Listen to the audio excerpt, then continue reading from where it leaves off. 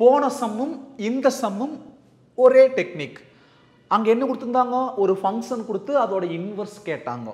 இங்கேயும் அதே மாதிரி தான் ஒரு ஃபங்க்ஷன் கொடுத்து அதோட இன்வர்ஸ் கேட்குறாங்க இங்கே கூடுதலாக இந்த ஒய் ஈக்குவல் டு எக்ஸுங்கிற லைனுக்கு மீதி ரெண்டு லைன் சிமெட்ரிக்கா இல்லையான்னு செக் பண்ண சொல்கிறாங்க அது அப்புறம் வெரிஃபை பண்ணிக்கலாம்.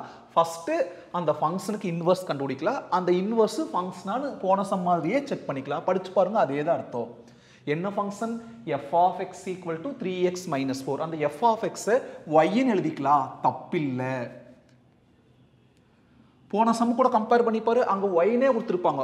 இங்கே எஃப் ஆஃப் எக்ஸை நம்ம ஒய்னு மாற்றிருக்கிறோம் அதுக்கப்புறம் சேம் டெக்னிக் இன்வர்ஸ் எப்படி கண்டுபிடிக்கணும் இங்கே எப்படி y in terms of x இருக்குது? அதே மாதிரி x in terms of y வர வரைக்கும் சிம்பிளிஃபை பண்ணணும் ஒரு பக்கம் பூரா வெறும் எக்ஸ் வர வரைக்கும் சிம்பிளிஃபை பண்ணணும். மைனஸ் ஃபோர் இங்க வந்தா plus four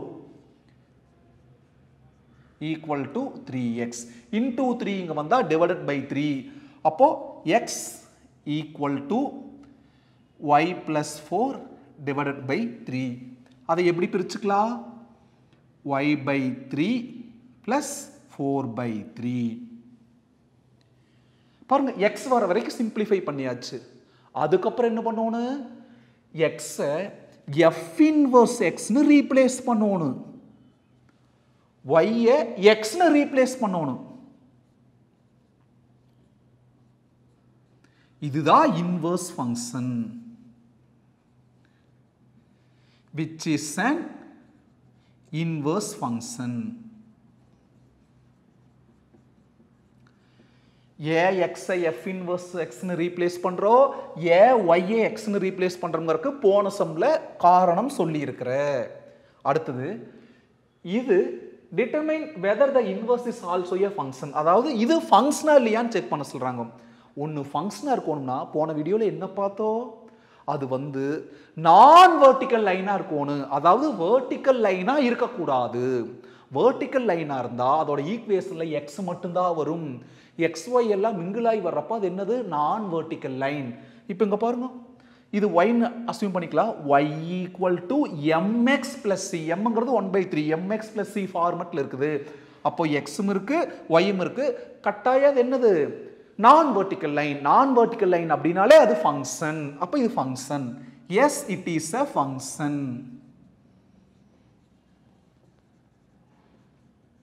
என்ன ரீசன் பிகாஸ் இட் இட்டுங்கிறது இந்த ஃபங்க்ஷன் குறிக்குது. It is in the form of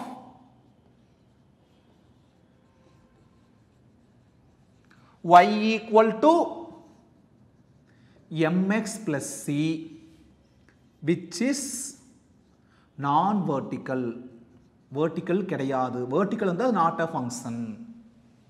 அடுத்தது இங்க பாருங்க. இது கொடுத்துருக்கிற function y equal to 3x minus 4 அப்புறம் இது இன்வர்ஸ் ஃபங்க்ஷன் அப்போ இது ஒரு கிராஃபில் பிளாட் பண்ணணும் கிராஃபில் லைன் வரையணும்னாலே எக்ஸ் ஒய் ஃபார்மெட்லாம் இருக்கணும். அப்போ இது ஒய்யா ட்ரீட் பண்ணிக்கலாம். Y equal to x by three plus four by three நாள் ஒன்று தான் x plus four by three நாள் ஒன்று தான்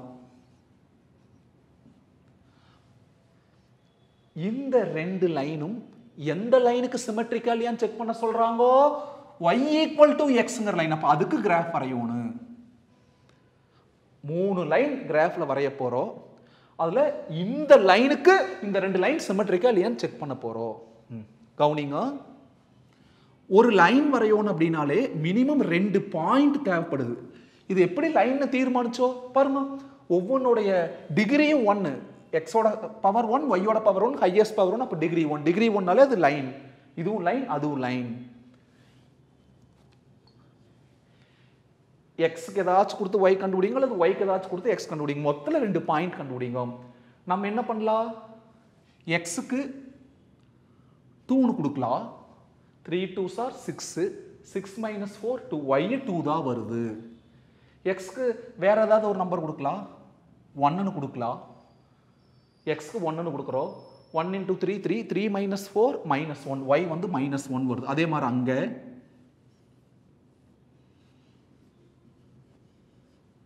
எக்ஸ்க்கு டூன்னு கொடுங்க. Two plus four six six by three two y two வருது. இன்னொரு நம்பர் கொடுக்கணும். எக்ஸுக்கு என்ன கொடுக்கலாம்? இன்னொரு நம்பர் மைனஸ் ஒன் கொடுக்கலாம். Minus one plus four three three by three one நான் கொடுக்குறதே கொடுக்கணுங்கிற அவசியம் இல்லை. நீங்கள் ஏதாவது ரெண்டு கொடுத்துங்க it is your will and this அதே மாதிரி இங்கே. எக்ஸ்க்கு டூ கொடுங்க ஒய்யும் டூ ஏன்னா ரெண்டு ஒன்றுக்கும் ஈக்குவல்ல எக்ஸ்க்கு ஜீரோ கொடுங்க ஒய்யும் zero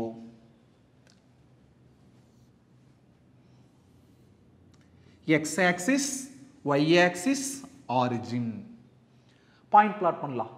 ஃபஸ்ட்டு அதை பிளாட் பண்ணிக்கலாம். எக்ஸ் டூ ஒய் ஜீரோ இங்கே பாருங்க. ஒன் டூ இங்கே minus one minus two while one two minus one minus two two comma two எங்கே வரு? இங்கே வரு. அப்புறம் ஜீரோ கமா ஜீரோ அதாவது ஆரிஜின்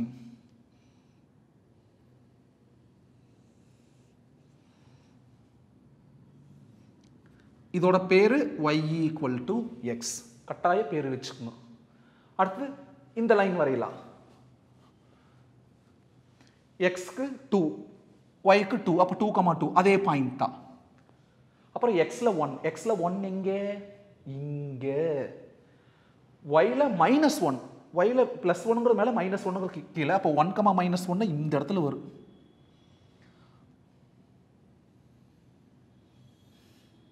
அப்போ இதுதான் line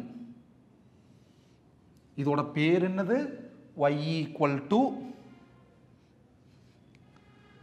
three X minus four அதுக்கு லைன் வரையலாம் இந்த ஈக்குவேஷனுக்கு டூ கமா டூ இதே point minus one comma one எக்ஸில் மைனஸ் ஒன் எங்கே? எக்ஸில் மைனஸ் ஒன் இங்கே. ஒயில் ஒன் ஒயில் ஒன்னுங்கிறது இங்கே. அப்போ இங்கே வருமா? நான் வரைஞ்ச பாயிண்ட் கரெக்டாக எக்ஸில் minus one while one two comma two minus one comma one இதை ஜாயின் பண்ணிக்கங்க.